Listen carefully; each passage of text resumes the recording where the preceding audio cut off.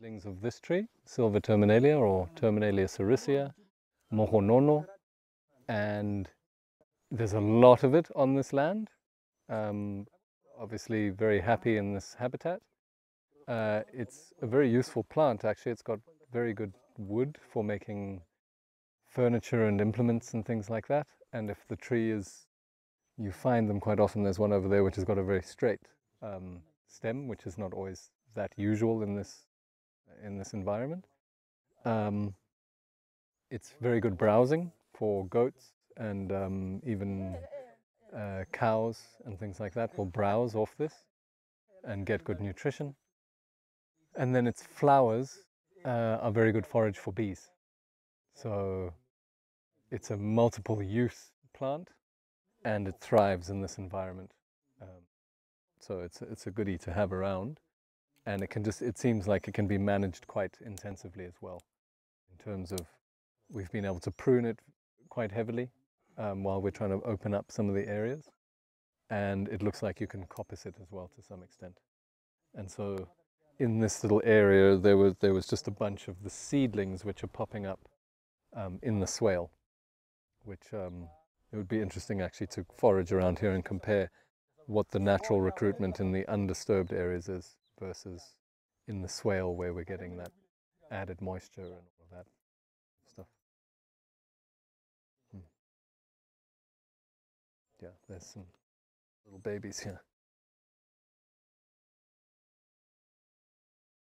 So I think those are coming up from seed. They could be coming up off the roots, but um, I, I think looking at how they're distributed, I think they're from the seeds. Tips, I'm glad you're wearing your gumboots, man. And then what happened? Did did the cover crop planting not happen here? No, it did. Yeah, it did. How weird, eh? Why nothing here? Or maybe it's the area. Hmm. Very strange.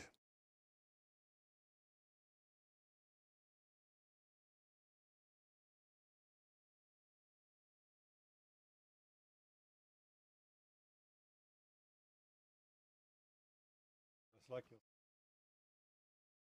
Mm. we dug under. Yeah, maybe Find. ancient aliens. Yeah. Why do you call I don't know this? why. Um, there's just something about that that's. I'm not sure who that is or why, but um, it's also kind of interesting. It's obviously not a very happy plant because it's getting eaten by these beetles or caterpillars. It's been savaged.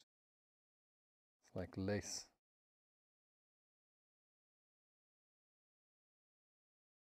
And that's usually an indication that that plant was stressed before. That's why it's a, it's vulnerable to being eaten like that.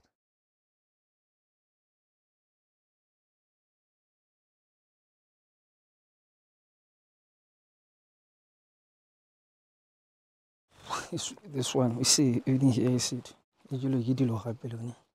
Wa sprayela gone go tswa mo masimong, to botlhoko. I find those so beautiful. They're just very pretty. And like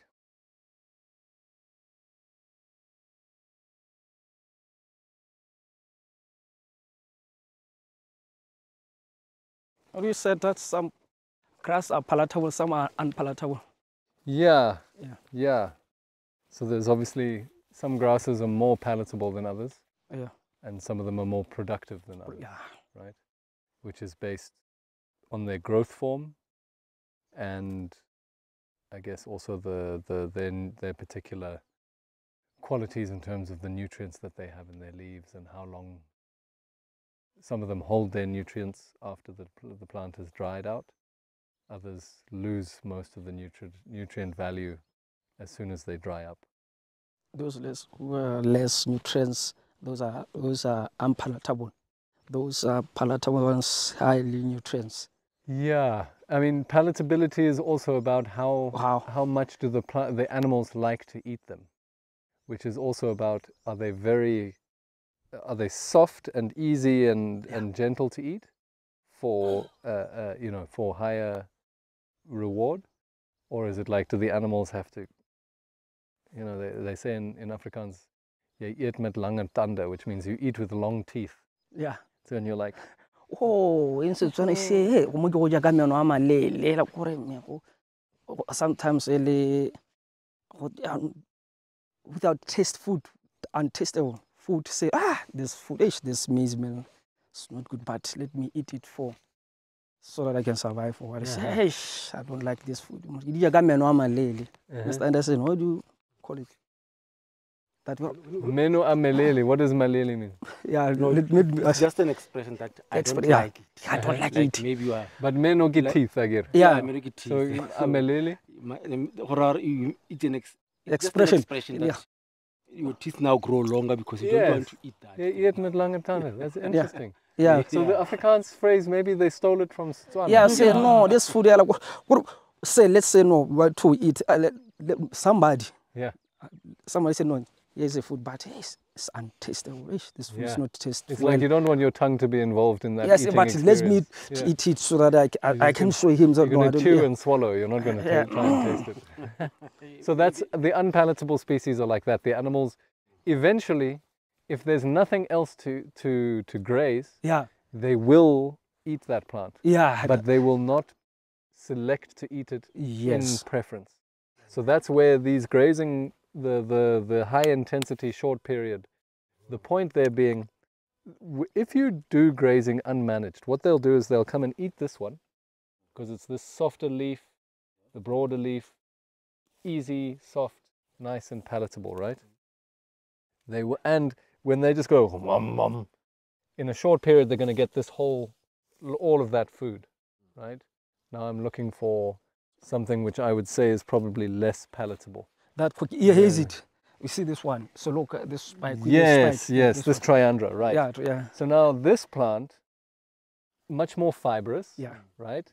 Much thinner, smaller leaves, yeah, much more stem to leaf ratio, yeah. and very sparse. There's not much.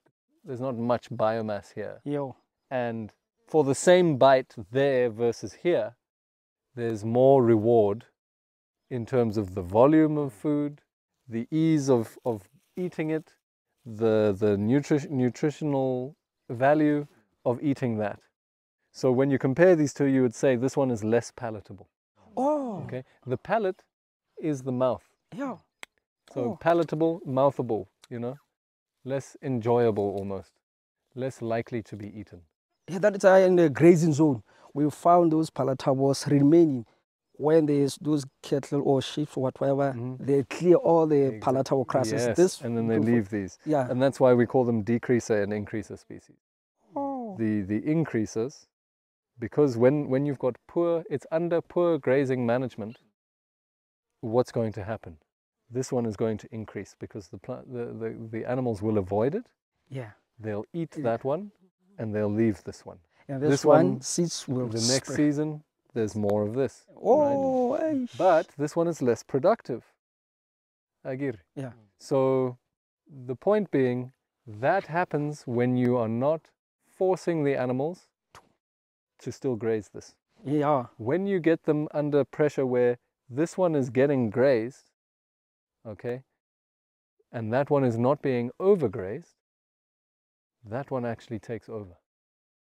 Because that one is adapted to being grazed. Yeah. This one is adapted to not being grazed.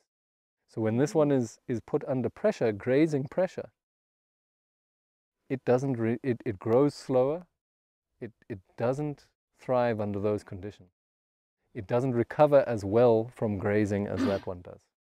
So often we destroy pastures not by putting too many animals on or overgrazing as such.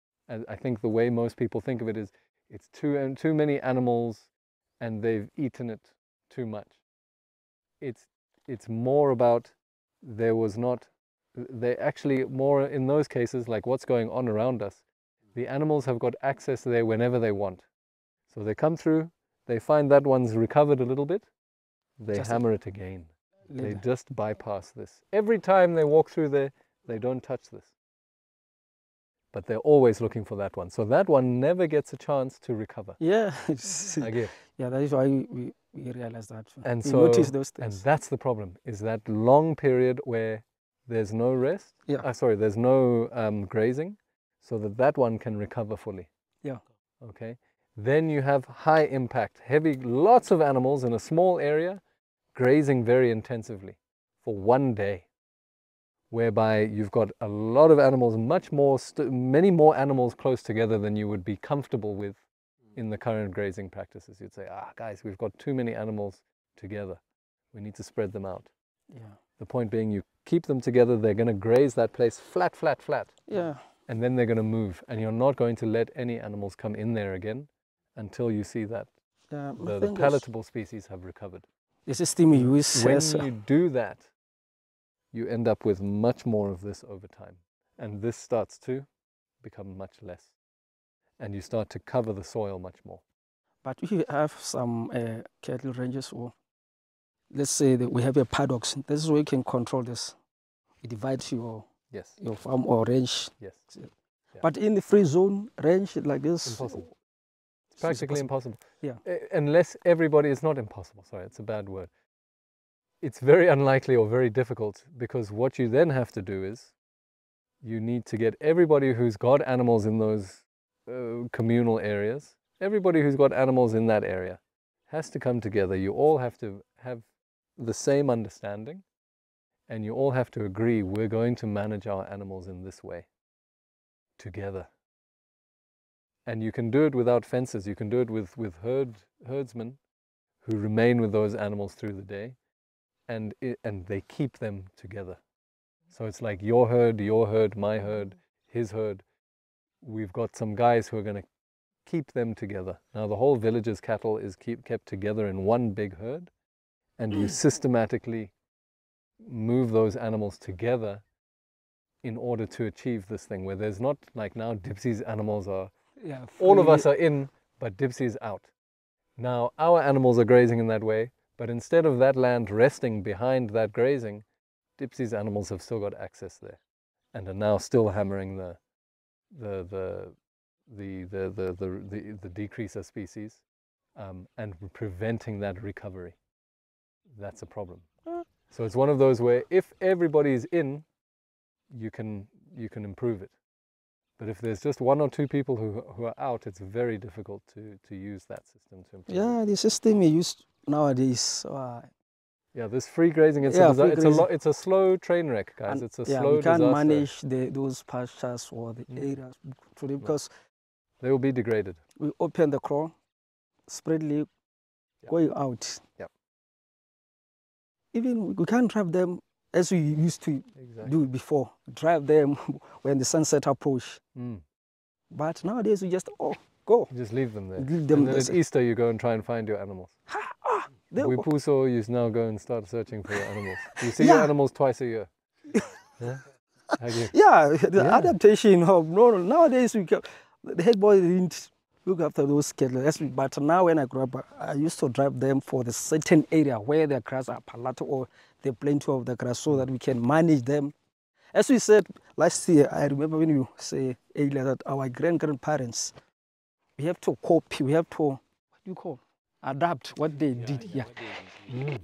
You have to practice. You have you have to transfer the the the, the knowledge to the generation so that they keep them. Like you know, this this there, there, there, there are certain cultures like uh, you know Asians guys like we call them Makula. Mhm. They have that a quite culture Yeah. that they have adopted for almost all the years Mm. in Botswana. You can see them in the bars, you can see them anywhere. But us, we are all over, you see. So this is a some of. I I think Africans they don't have that control nowadays. Everyone do what he wants to do, anyhow, anyway. Yeah, and I like what they did, especially when I, I used to see those things in the videos in some countries like mountainous country like Ubo, Mongolia, Tibet. What those Mhm. are they have ships. Those guys, they, as I said, they put small a certain area. They drive their sheeps to that area where there's a plenty of grass, or water. Then they move back to the where they come from Mhm. to allow that area to be recovered last to, to the next ra- rain. Here, oh no, yeah, There's no rest. There's no rest. And it's a slow destruction of the fertility Yeah, and the, the ability of that land to support. I've had many conversations with Botswana who say their grandparents or great grandparents used to have much more, there was much more livestock, many, many more cattle. Now, that could just be, ah, in my day it was better. But also, in those days, there, were, there was a whole level of society. Young boys, that's what you did. This was before school and before the, the, the current economic, socio-economic situation. The point being that there were always human beings who had knowledge and energy were always with those animals. Yeah. Moving them, moving them, moving them, keeping them together, coordinating the grazing activity and managing with that huge, those huge herds having this intensive mob grazing impact and then leaving it to recover. And at the same time, don't forget there's the input of all that manure in a concentrated area and then being left. So, again, what we were talking about lots of manure going down. The animals are coming through, they're grazing, they're trampling, they're manuring behind them. And then you've got those cattle egrets with them, helping to remove the ticks and the, the, li- the fly larvae. And then you've got your dung beetles who come in and take that manure straight down into the soil. So you can sustain a lot more animals if you're keeping them together and moving them around Oh, like yeah. this than even fewer animals but are always spread out thinly everywhere. Okay. It, that degrades the landscape. And the problem is that it's happening quietly every single day. It's not a big disaster that we see and say, oh, it's a disaster. We must do something about this. We now believe that that's how animals are kept. that is you why. know, That is why. We think that that's Yeah. normal and it's productive. Yeah. It's not. Every single generation, we can support fewer and fewer and oh, fewer Gosh. animals. So the land becomes poorer, but we as individuals become poorer as a result as well. And we can't understand standing where we are. How did my grandfather have a herd of 250 head? How? I couldn't do that now. No, because the grassland has changed yes. because that 250 head of cattle, when it was managed correctly, was able, was creating the conditions which next 10 years, maybe you could have 300 head. Yeah. Even Yeah. even the, there are some Big. challenges, climate changes. Yeah, I, I have to admit, I'm personally not so motivated and excited about the Yeah. climate change impacts Yeah. because I think we talk a lot about them, and I think it's disempowering. Yeah. I don't think it's helping us We have, to. address the issues Yeah. that we actually do have control over or influence over. Oh, I believe that th- this is my personal opinion, okay, yeah. based on some knowledge, Knowledge. but an observation. We have, there's very little that we can do to address climate change, Yes. okay? If it's happening, then my understanding of it is it's a system which is in motion. It's on a scale where our individual impacts are now relatively meaningless, certainly in our own lifetime. However, there's a lot that is going on that we're blaming on climate change, and we just say, "Oh, it's climate change." Yeah, that's to why it's like the this." solution. Uh, and then it's like the attitude always comes with that, "Well, well, there's nothing we can do," and it's like, "Well, yeah, there's probably nothing we can do about climate change itself, but there's a lot we can do about these the the the, the supposed impacts of climate change, whether they're from climate change or not, is kind of, in my mind, debatable. And in some cases it is, some cases it isn't. But the short to medium term reality is that you actually have an impact on, on it and you can change it. You can, you can positively influence the, the local dynamic. Um, and, and you can kind of put climate change aside. Well, that might be happening, but we can still do these things Yes. and they can still have positive effect. Um, and certainly these grazing management systems, you can do it to for, for a climate change agenda, and you can you can use that. That's fine, but it's also got very practical, measurable um, effects in the medium term on on immediate productivity. Yeah. It doesn't need to have a climate change aspect to it Yes. necessarily for it to be worthwhile doing.